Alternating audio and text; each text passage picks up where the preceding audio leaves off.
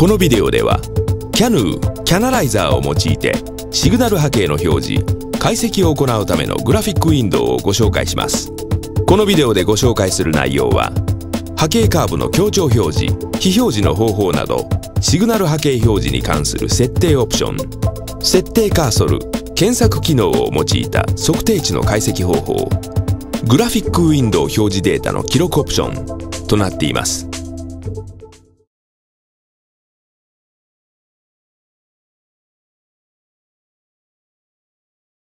画面上には CANU のグラフィックウィンドウが2つ表示されています。シンボルエクスプローラーからドラッグドロップを用いてシグナルを追加します。個々のシグナルに対してユニークな数値軸を割り当てたい場合には、セパレートビューズを選択してください。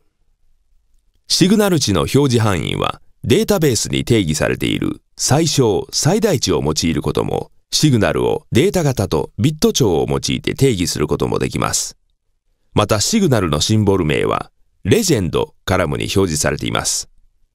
すでに2つのシグナルが下のウィンドウに追加されています。すべての Y 軸を表示したい場合には、All Y Axes を選択してください。選択したシグナルの値を読み取るためには、右側の Y 軸を使用します。設定した Y 軸の数値範囲を超えてしまい、表示が見えなくなってしまった場合には、オプションメニューから Expand Y Range by X% を選択することで自動的に表示範囲を変更することができます。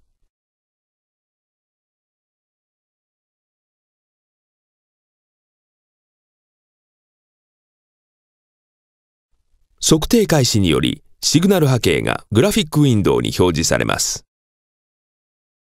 測定中にシグナル波形表示を最適化するためのフィッティング機能はマウスによるコンテキストメニューから利用できます。Fit All Signals により測定したすべてのシグナル情報をグラフィックウィンドウ内に表示します。すべてのシグナルをグラフィックウィンドウ内で並べて表示するためには Fit All Signals to a Special Line を選択します。これらの機能はすべてキーボードのショートカットでも実現できます。詳細はオンラインヘルプをご覧ください。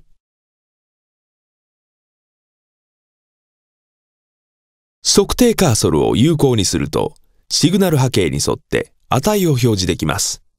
この時、シグナル名、測定時間、シグナル値の情報を画面上にツールチップとして表示します。またシグナルの最小、最大値、バイナリー表示、16進表示をレジェンド内に表示します。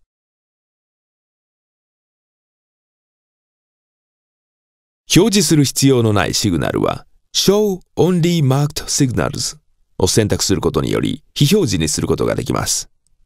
グラフィックウィンドウは選択されたシグナルだけの表示になるため解析を効果的に行うことができます。選択したシグナル波形を強調表示させるためには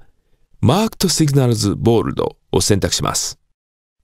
またシグナルを非表示にするもう一つの非表示方法としてグレイ・アンマークト・シグナルズを利用できます。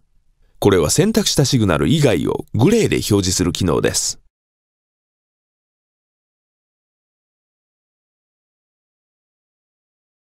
グラフィックウィンドウはバラエティに富んだ検索機能を提供しています。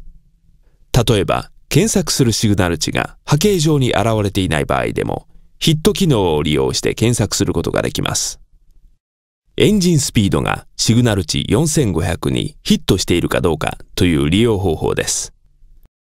その他の検索機能としては、最小最大値、イコール、ほぼ等しいなどがあり、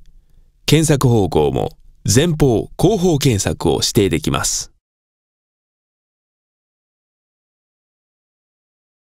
グラフィックウィンドウ内で表示しているシグナル波形は記録することができます。この設定は測定開始前でも測定中でも随時行うことができ、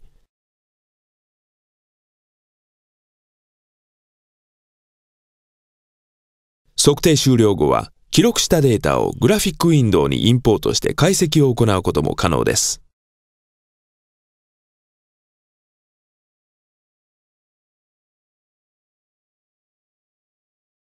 さてキャヌーのグラフィックウィンドウの主な機能について紹介しましたがお見せしたのはグラフィックウィンドウが持つ機能の一部に過ぎません。全機能の詳細についてはオンラインヘルプをご覧ください。またこのビデオではキャヌーを利用して説明いたしましたがキャナライザーもキャヌーと同じグラフィックウィンドウの機能を持っていることを付け加えておきます。ベクターツールの優れたユーザビリティと機能はお客様ご自身で確かめることができます。www www.vector.com の日本語ページからはデモ版のお申し込みができるほかその他のビデオの視聴ベクターへのお問い合わせ先を確認することができます。